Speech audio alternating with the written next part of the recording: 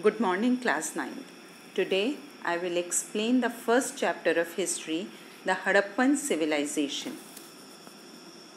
In this chapter, the topics that will be explained, covered, or tested are sources, which include Great Bath, Citadel, Seals, Statue of Bearded Man, Statue of the Dancing Girl, Dockyard, and their script origin of this civilization, extent of this civilization, its urban planning, its trade, its art and craft, and the reasons for its decline.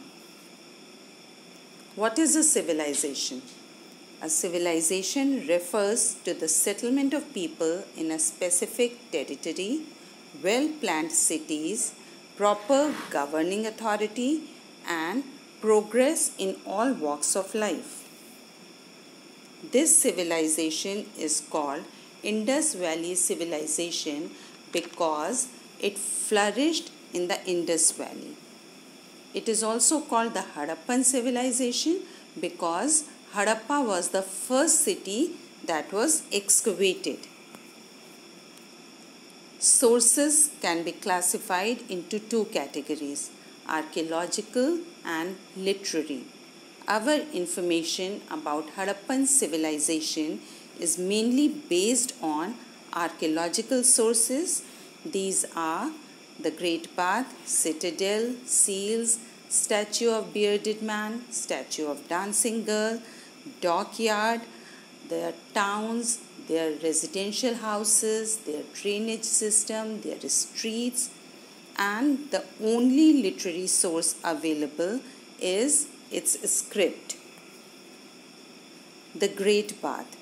It was a watertight rectangular tank surrounded by corridor on all four sides and there were rooms also at the back of the corridor.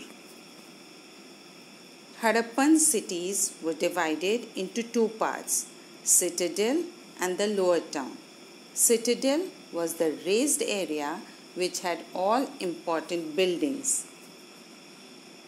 Most of the seals were either square or rectangular in shape and were made of terracotta and steatite. Few important seals were the Pashupati seal and the unicorn seal.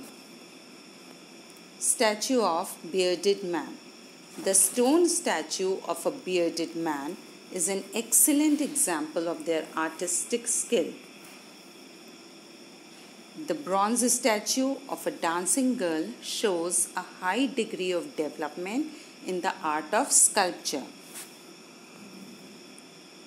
A dockyard is a shipyard, means a waterside area to keep, maintain, or repair ships.